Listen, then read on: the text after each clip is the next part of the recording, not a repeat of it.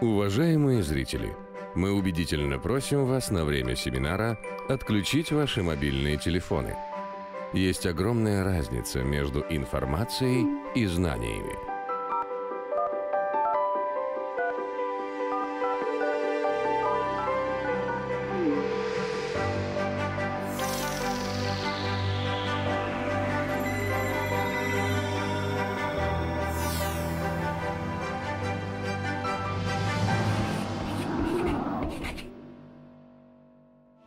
Алексей Саватеев, математик и специалист в математической экономике, популяризатор математики.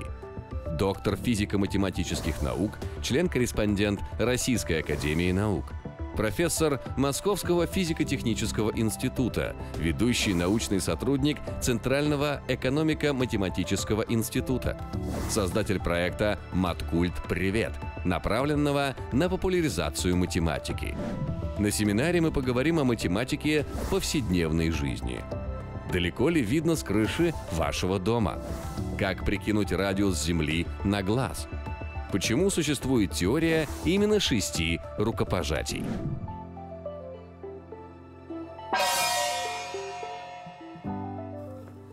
Всем добрый день. У нас лекция, которая называется «Мате матика и, что бы вы думали, жизнь. Вот так. Ну что, поехали? Давайте начнем с сюжета, который называется «Теория скольких-то рукопожатий». Скольких? Шести. Шести, да? А почему шести? Почему не 66? Или трех, например. Но давайте про это поговорим. Итак, что утверждает эта теория? Она на самом деле не 100% математизирована, но у нее есть там конкретная математическая модель. Теория говорит, что если мы возьмем наугад двух человек на планете, допустим, какого-нибудь рыбака из Новой Гвинеи и жителя там, Кольского полуострова, да, может быть, тоже рыбака – и посмотрим, сколько нужно между ними, вот это вот первый житель, да, назовем его А, а это второй, назовем его Б. Ну и мы хотим понять, сколько между ними нужно вставить людей, минимальное количество, с тем условием, что А знает С, С знает Д, Д знает Е, Е знает F, да, F знает G, допустим, G знает H, и H знает B. Вот сколько нужно ставить людей? Ну и, значит, в принципе, конечно, может случайно оказаться, абсолютно случайно, что у них есть какой-нибудь третий общий знакомый, там, не знаю, где-то они там на каком-нибудь форуме рыбаков встречались, познакомились, и что вообще вот раз и два, и все. Ну, совсем уж маленькой вероятностью может вообще оказаться, что они просто изначально знакомы друг с другом. Но если мы рассмотрим случайно взятых вот таких двух людей, то скорее всего, скорее всего, ну, грубо говоря, с вероятностью 90 с лишним процентов, между ними надо будет ставить вот такую вот цепочку из шести, может быть, пяти, может быть, семи, но вот как бы никак не выходя за эти пределы, людей. И сейчас я объясню, что же это за число такое 6, чем оно, так сказать, почему оно здесь появляется, почему именно 6 появляется. Ну и чтобы это объяснить, давайте мы сейчас построим математическую модель вот этой вот истории. Итак, первое, что нас интересует. Сколько у типичного человека, живущего на Земле, хороших знакомых, с которыми он вот за руку здоровается, да? Сколько? Ну, давайте я просто послушаю версии из зала. В типичном случае. Конечно, мы не берем людей, которые очень активные, знают много-много людей, и не берем там отшельников, да, допустим, монахов-отшельников, которые почти никого не знают. Ну, нормальный человек, живущий в обычном городе или на селе, вот сколько он людей знает, с кем он здоровается за руку, кого он значит, считает другом или приятелем? Ну, человек 30. Так, отлично. Пять. Пять. Ну, Пять друзей? может быть, где-то 50. 50, я бы, да, я бы скорее вот в эту сторону подумал. То есть 30 это э, в нашем мире, таком активном, бурном мире, 30, наверное, это нижняя скорее граница. Так, ну и, наверное, если очень-очень активный, то можно и до 100 довести. Но, наверное, каждый из вас, в принципе, согласится с тем, что это количество меняется примерно в этом диапазоне, где-то от 30 до 100. Зафиксируем это. Теперь давайте назовем вот это количество буковкой К. К личных знакомых, таких хороших личных знакомых. И сделаем следующее. Возьмем вот этого наугад первого взявшегося, да, нам рыбака, и нарисуем эти вот К знакомств, как они от него исходят в разные стороны, да, вот они. Перечисляем всех их поименно. Дальше берем любого из тех, с кем знаком этот рыбак, и проделываем ту же самую операцию. Один из них это будет вот этот вот первый, и еще будет, ну, примерно те же К, может быть, у него больше немножко, может быть, меньше, да? Может быть, некоторые ведут к общим как бы знакомым, образуя треугольник знакомств, да, как у нас говорят, сообразим на троих, да, вот, вот если они на троих соображают, тогда одна из стрелочек ведет сюда. Но понятно, что в нормальной ситуации, не в ситуации, когда какой-то замкнутый мирок, в нормальной ситуации большинство знакомств уже не являются непосредственными знакомыми первого. Так, и вот теперь у нас уже получается, что из каждого знакомого вот этого вот первого лица мы построили, значит, ну, примерно тоже пока новых знакомых. И вопрос, сколько у нас получилось вот таких вот двузвенных ломаных, то есть сколько знакомых через одного? Сколько будет, допустим, 50 умножить на 50? Вот, правильно. Сколько будет? k умножить на k, да? k умножить на k называется k квадрат, да? Вот. Ну вот, например, если было 50, было бы 2500. 50 умножить на 50. Хорошо. А теперь я добавляю всех знакомых, всех крайних лиц вот здесь. И у меня возникают трехзвенные ломаные знакомства. Через два рукопожатия, так сказать, да? Сколько таких? К в кубе. К в кубе. Так, прекрасно. Дальше я думаю, что уже понятно, что через еще одно будет К в четвертый, дальше К в пятый, да? Вопрос, когда вот эта логика прекратит работать? Правильно. Когда закончатся люди на планете Земля? То есть никогда. Здрасте. Округлим 10 миллиардам для простоты. Сегодня 8 с лишним да, миллиардов живет. Ну, допустим, 10 миллиардов. Сейчас э, вы увидите, что даже если я напишу 100 миллиардов, ситуация очень слабо изменится. Ну, допустим, будет 10 миллиардов. Давайте назовем это число n, и это население Земли. Итак, цепочки закончатся тогда, давайте так напишу,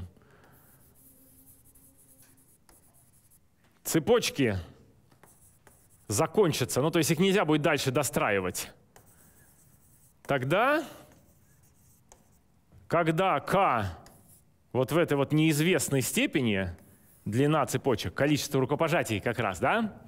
А, ну или там количество рукопожатий плюс один, может быть, если мы считаем длину звеньев самих, будет примерно равно населению Земли, которое я обозначил за n.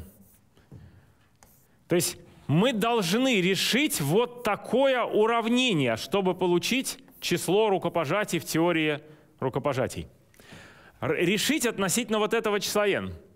Я могу даже его написать в таком виде, чтобы уже как бы не было путаницы, если кто-то с символами не очень дружит, то смотрите, я пишу так.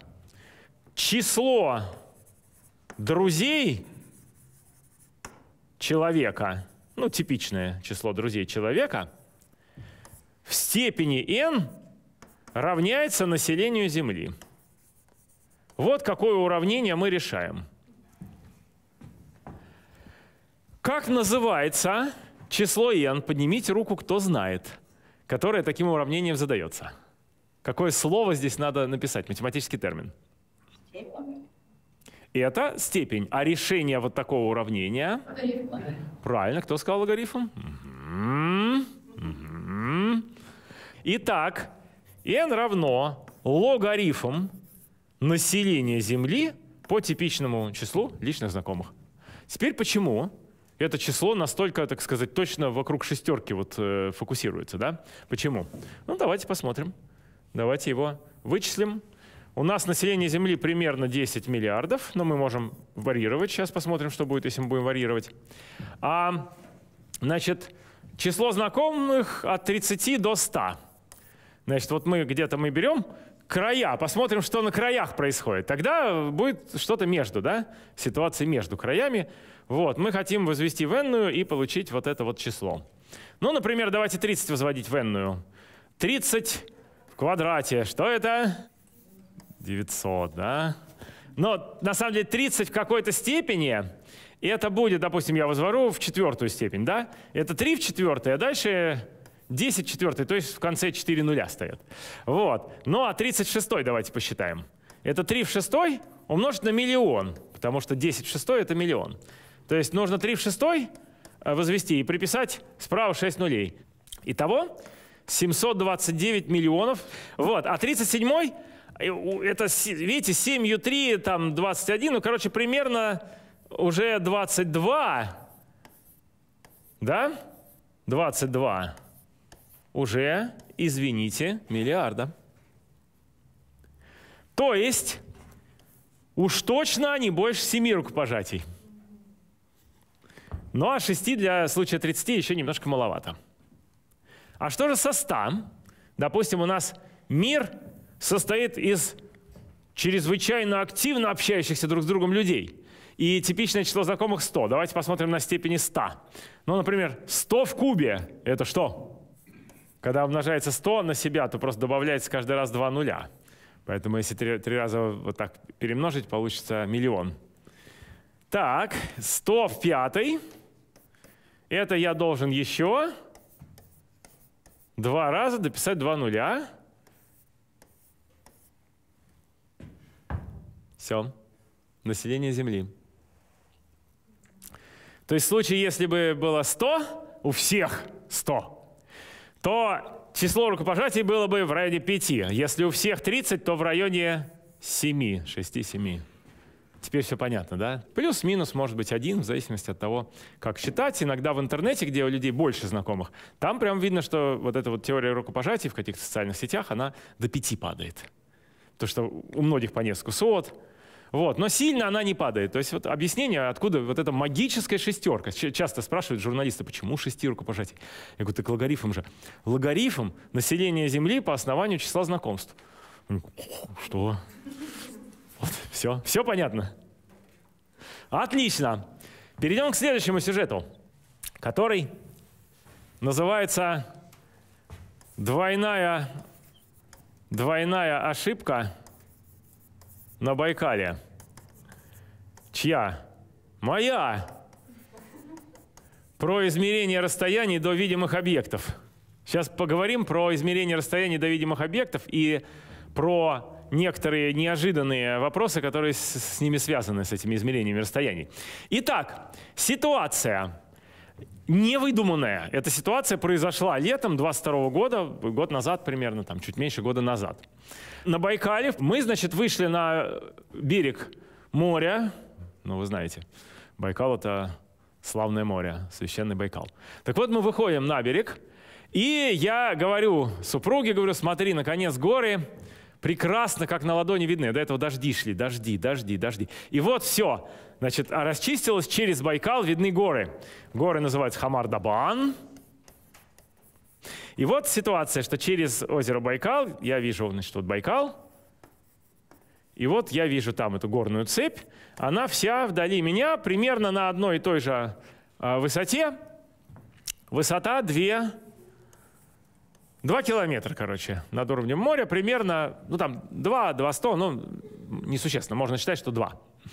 Вот, и я говорю э, супруге, говорю, смотри, сейчас я померю научным методом расстояние до этих гор. Как я это делаю? Я беру вот так, на вытянутую руку ставлю ноготь, вот мой ноготь, он полностью эту горную цепь вот содержит в себе, вот целиком, вот она там вдалеке. Я смотрю, а я-то знаю пропорции. Я знаю, что когда я на вытянутой руке вот так вот что-то замеряю, то вот это 1 сантиметр, это 50 сантиметров. То есть 1 к 50 получается пропорция.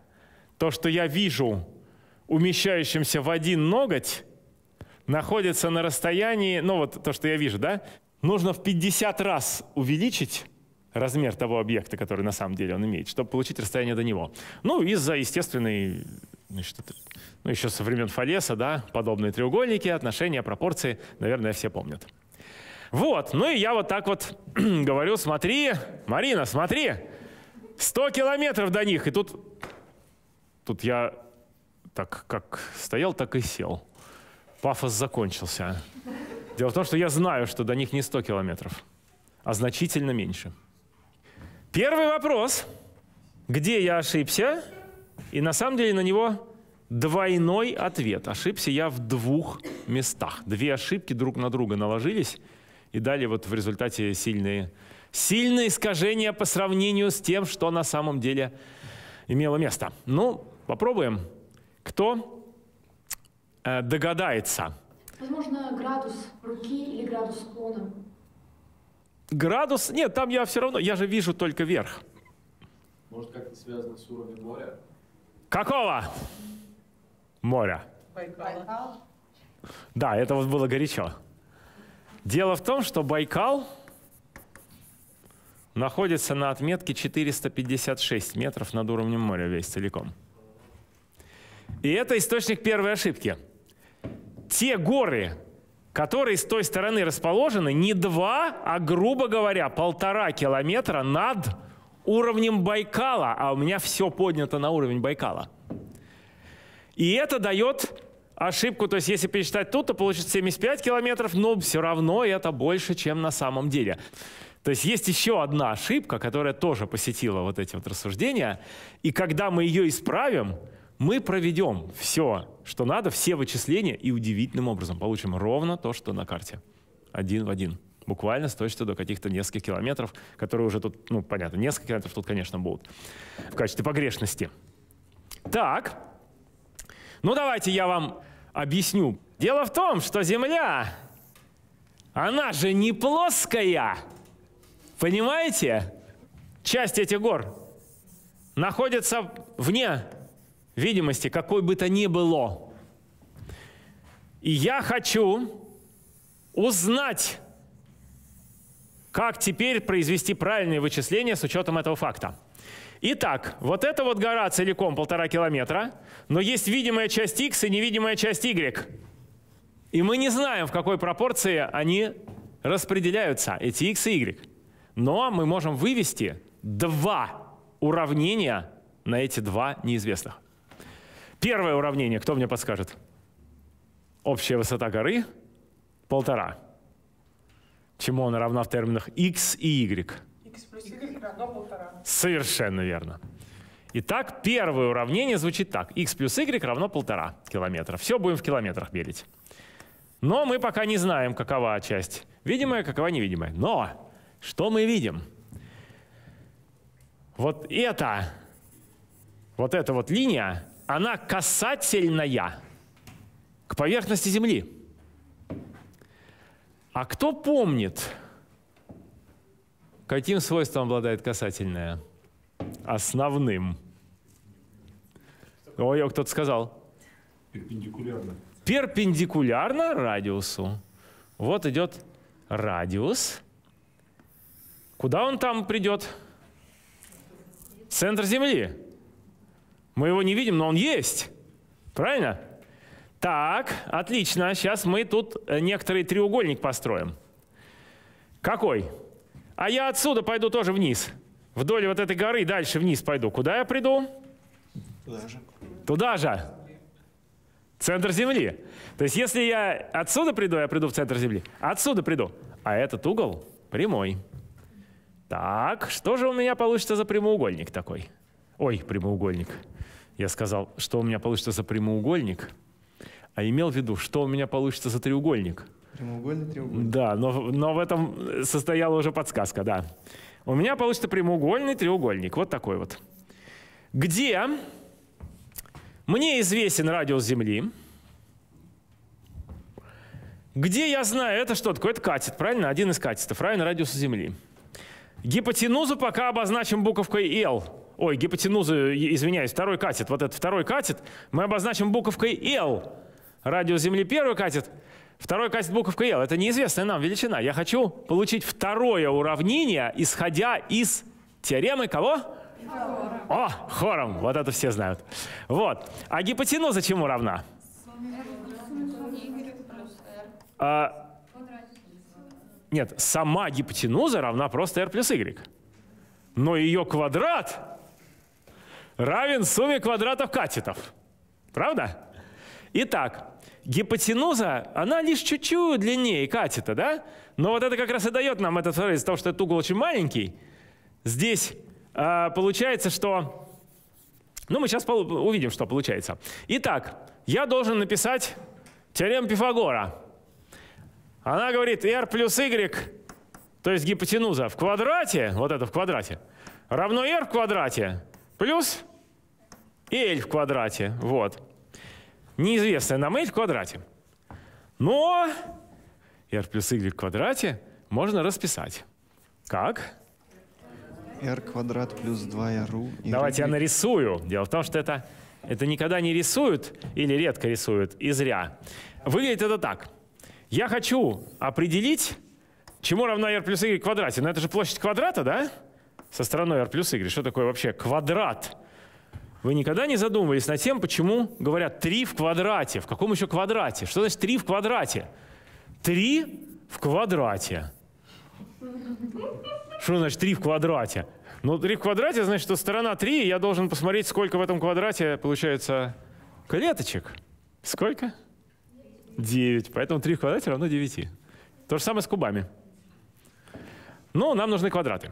Значит, соответственно, r плюс y, возведенный квадрат, это площадь такого вот квадрата со стороной r плюс y. Но я же могу его разрезать вот так вот, что у меня будет вот это вот y, а это r. Имею право. Математики все можно сделать. Вообще любое действие, на любое действие ты имеешь право. Но потом нужно, чтобы оно встроилось в логическое доказательство того, что ты хочешь. Иначе это будет бессмысленное действие. Но запретов никаких нет. Итак, разделил площадь на четыре разных площади. Вот эта площадь э, это что? r квадрат, правда? А это? y квадрат. y квадрат. А вот это и это? Тут r умножить на y. r, y. Это же прямоугольник со сторонами r и y. Значит, у него площадь r умножить на y. И здесь тоже r умножить на y. Ну вот у меня и получается, что r плюс y, возведенное в квадрат, состоит из квадрата числа r, квадрата числа y и удвоенного произведения r на y. Все. Нет, здесь r, не l. Но теперь-то я вспоминаю, что это должно быть равно сумме квадратов катетов, правда? Согласны? Страшный монстр под названием r квадрат сокращается. Сокращается. И остается вот такая вот формула. В принципе, из нее можно уже извлекать пользу, но для примерного вычисления мы сейчас проделаем еще одно странное сокращение – знаете, какое? Просто зачеркну y квадрат, как будто его нет. И напишу, что это примерное равенство. Так можно в физике делать. В математике так нельзя, за это двойку могут поставить. А в физике можно. Потому что что такое y квадрат и 2ry? Я напоминаю, что y — это высота горы. Ну, допустим, 2 километра. У Джамалунгмы, допустим, около 9 километров. Допустим, это хоть полет самолета. И это все равно, ну, там где-то в районе 10-12 километров. А радиус Земли? 6378 Молодчина. Ну, я приближаю до 6400 обычно. Но, да. Вот. Ну, то есть это несоизмеримые вещи. Тут я y на y домножаю, а тут y на, ну, на диаметр Земли домножаю. Да? То есть понятно, что это не, не влияет ни на что, поэтому можно просто стереть. И теперь остается прекрасная формула, вот, связывающая видимость с высотой. Вот такая. В принципе, ее можно относительно видимости целиком разрешить, написать L равно корень квадратный из 2ry. И извлечь из r корень, он очень легко извлекается из радиуса Земли. Удобная штука. Из радиуса Земли корень извлекается. 80, да. 80 корней из двух y. Напоминаю, что для того, чтобы воспользоваться этой формулой, надо y вычислить в километрах. Например, предположим, вас кто-то пустил на шпиль Останкинской телебашни. Он имеет высоту 500 метров, грубо говоря. 500 метров – это сколько километров? 0,5. 0,5. А если я на 2 умножу? Один. Один. А корень из единицы чему равен? Один. Один. Соответственно, видимость со Останкинской телебашни 80 километров. Правдоподобно? Вполне. Соответственно, вот у меня есть вот эта формула. Сейчас я вернусь к картинке, я, ну, я как бы ее заново да, напомню. Я напомню, как она выглядела, эта картинка наша. Вот Земля, вот Байкал здесь, как бы через Байкал я вижу гору. А, но вижу-то я только вот эту вот верхнюю часть горы. Ну, тут как бы вот это вот как раз то, что угол немножко другой здесь, и это можно пренебречь, потому что он очень, ну, здесь очень маленький угол. Этот треугольник, он остро, остро, остро, остро, остроугольный. Вот такой вот. Вот. Вообще да, довольно интересная идея, что теорема Пифагора универсально применима для всех видов треугольников. Это не сразу до человечества доходило. Когда Эратосфен определил радиус Земли, он воспользовался совершенно гениальным приемом. В процессе этого измерения он использовал принципы пропорции, в которых треугольники отличались миллион раз. Ему говорят, слушай, мужик, а почему на таких расстояниях вообще наши принципы математически сохраняются? Почему ты в этом уверен, да? Миллион раз. Ну, я понимаю, в 3, в 4 мы видим непосредственно, но, может, дальше все искривляется вообще. Хороший резонный вопрос, на самом деле. Это вопрос к свойствам пространства. Когда мы измеряем астрономические расстояния, мы допускаем этого, то, что, ну, как бы некий акт веры, да, что вот это все плоское оно, все. Вот. Ну, и он сказал, ну, я, тут я вам ничего не могу сказать, но если мы верим в пропорции, в правила пропорций для треугольников, отличающихся миллион раз, то я вам могу сказать, что радиус Земли 6 тысяч километров. Но если не верим, тогда сами вычисляйте, как хотите, да? Что тогда тут сделаешь? Ну вот. Так вот, здесь чуть-чуть совсем отклонение. Вот это у меня было x, это у меня было y, правильно? А вот это было L. И L было связано с x вот этой пропорцией, правильно? Пропорцией вытянутой руки, то есть 1 к 50. Значит, это 50x. Поэтому мы имеем два уравнения. x плюс y равно 1,5, это мы уже поняли с вами. А второе уравнение состоит в том, что L равно 80 корней из двух y. То есть 50x равно 80 корней из двух y. Давайте 0 уберем, останется 5x равно 8 корней из двух y. И снова возведем в квадрат для простоты. Ну или давайте здесь, здесь пока напишем вот так. 5x равно 8 корней из двух y. Когда у вас есть два уравнения с двумя неизвестными, у вас есть надежда их решить. Правда? Выразить одно через другое и т.д. И вперед. В данном случае я предлагаю так сделать. Сейчас я еще несколько проделаю несколько нигилистических шагов, которые на ЕГЭ точно не надо выполнять, э, потому что вас ждет двойка тогда. Вот. Но по жизни их можно сделать с учетом той ситуации, которую мы рассматриваем. В физике учат приближение. Математика, наука точно. А в физике все приближенно, потому что модели, они не полностью отвечают на жизни вокруг, а лишь в некотором приближении. Так вот, 25х квадрат, соответственно, равно, нам нужно возвести вот это в квадрат. А, ну, не буду вас мучить, это 128y. Соответственно, что мы сделаем, чтобы решить это уравнение? Ну, давайте вот здесь на 128 все умножим. У меня 128x плюс 128y будет равно 128 умножить на полтора. Ну, это 192. И теперь я могу подставить вместо 128y 25x квадрат, правда? Вот. 128y, которое равно 25x квадрат. То есть получается уравнение 25x квадрат плюс 128y равно 192.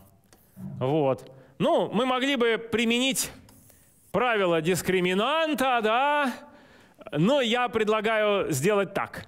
Во-первых, 128 это примерно 130. Сейчас. Ну-ка, ну-ка, ну-ка, ну-ка, ну-ка. Так, надо запомнить, что я там написал. Я написал 25х квадрат плюс 128 Y. Вы написали 128 Y. А надо было? X. X. Да. Ну, я еще напишу 130 вместо этого. Какая разница, 128 или 130, правда? Вот. И это, значит, примерно равно 192. А зачем мне 130? А затем, что я выделю сейчас так называемый полный квадрат. 5х плюс 13 в квадрате. Следите за руками. 5х возведенное в квадрат как раз 25х квадрат. 5 13 2. 5 13 2. Как раз 130, да? Но появляется еще что-то. А именно 13 в квадрате, правда?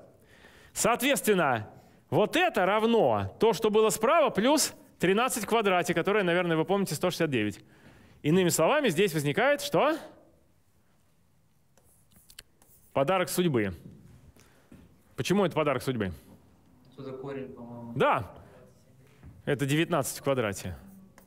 Итого 5х плюс 13 в квадрате равно 19 в квадрате. Так как отрицательные значения этого выражения меня явно не интересуют, то можно извлечь из, из того и другого корень положительном, положительной области и получить вот такое вот. вот. Итого задача практически уже дорешена полностью, потому что 5х оказывается равным 6. А вспомним теперь, что мы вычисляли. Мы вычисляли L, расстояние до гор. L было равно 50х из-за пропорции. 60 километров. Да, и это правда. И это правда. По карте прямо видно. Вот. И из этих 60, соответственно, мы видим верхние 1200 метров, а вот 300 метров, извините, уходит под Байкал. Вот. Ну вот такой вот замечательный сюжет непосредственно из жизни, да? Ну и давайте теперь завершим чем? Тем, что мы вычислим радиус Земли. Как же мы это сделаем? Вот Эратосфен в третьем веке, он придумал следующую конструкцию. Он жил в Александрии, по-моему, да? А был еще город, такой город Асуан. И вот этот город Асуан, он находился на северном тропике. А что на северном тропике? Чем он хорош? Тем, что 22 июня, продолжайте. Солнце зенитит. Да. Вон там. Полностью. То есть я могу залезть в колодец какой-нибудь очень глубокий, и, и, и его посетит солнце в, середине дня. Дно колодца будет под солнцем. В наших широтах, понятно, такого не бывает даже близко. В Исване такое бывает 22 июня. 22 июня проделывает следующий эксперимент. Сверяет часы с другом, который живет до тысячи километров в Александрии. Или наоборот, он посылает, значит, друга в Исван. Тысяча километров. Тысяча километров. Сверяет часы и говорит, друг, замерь, пожалуйста, длину тени от высокого шеста, поставленного в Александрии, и сообщи мне пропорцию. Гениально. Гениально. Понимаешь, что она круглая, но это знание еще древние, когда там паруса появлялись в начале. Потому что Земля круглая, знали всегда. Это какие-то там истории, что это вот какие-то когда-то какое-то прозрение было. Вот, значит, э, смотрите, вот у меня шест в Александрии. Какая от него тень? Здесь должно быть еще одно допущение, которое сделал Эратосфен, но мы тоже сделаем, что Солнце так далеко, что лучи параллельные в разных точках будут. Если бы оно было поближе, они бы расходящиеся были. Но, ребят, 150 миллионов километров до Солнца. Ну, тогда еще, конечно, это не знали, но, наверное, он понимал, что оно гораздо, гораздо, гораздо, гораздо дальше, чем даже там диаметр Земли. В общем, можно считать, что это параллельно. Тогда возникает следующая ситуация, что вот у меня э, вот этот шест, он идет, в, понятно, в центр Земли. И тогда возникает, естественно, пропорция, состоящая в том, что отношение длины тени к этому самому, да, к росту здесь, вот. И это то же самое, что отношение расстояния между городами к радиусу Земли. Все. Ну, небольшие искажения вносят. Э, но уже не очень существенные. Да? То есть вот эти треугольники, ну, почти подобные. Значит, соответственно, измерив здесь, получилось 1 к 6 у него тут вот, да? Вот. Ну и, соответственно, 1 к 6, и будет вот это 1000 километров до Асуана к 6 тысячам километров. Он был первый, кто дал эту точную цифру. По крайней мере, насколько это известно. Может быть, может кто-то и до этого дал. Вот. Вот так вот. Друзья, я готов ответить на вопросы. Большое спасибо вам. И мне кажется, сейчас вы развенчали миф в моей голове о том, что математика очень скучный предмет. Спасибо. Это самый, вообще, самый яркий предмет. Я вам точно говорю, сто процентов. Самое, ничего красивее математики нету, даже самые супер картины. Только музыка может немножко сравниться. Спасибо большое. А, если все правильно понял, можно ли считать, что пропорция 1 к 50 всегда неправильная и нужно мерить 1 к 60? Потому что Земля всегда вот так вот скажется. Нет, нет, нет, пропорции как раз совершенно правильные. Ой, пропорция. Не пропорция, а вот нет. высота. Не, не, не, не, значит, э, дело в том, э, здесь 60 получилось километров, это у нас такой ответ вышел. Но пропорция здесь была все нормально. 1200 торчало сверху, на самом деле вот так надо нарисовать. 1200 торчало сверху, до него было вот ровно ног, в ноготь вот это все и помещалось. Ну и, соответственно, мы умножаем на 50, получаем э, 60 километров. Э, то есть вот это, это действует, просто надо это с умом применять, что мы отсекаем от гор ту часть, которая видна, а та, которая вот оказывается под линией горизонта, да, естественно, не видна. Но изначально мы не знали, какой они пропорции, поэтому пришлось две переменных вводить, а не одну. Спасибо. Спасибо большое. Действительно, настолько практично. И что бы вы посоветовали из литературы почитать тоже о подобных примерах? Отличный вопрос! Поехали!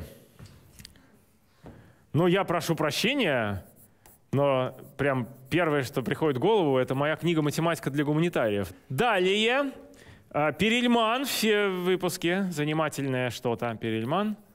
Э, там, занимательная, ну и дальше там у него куча есть.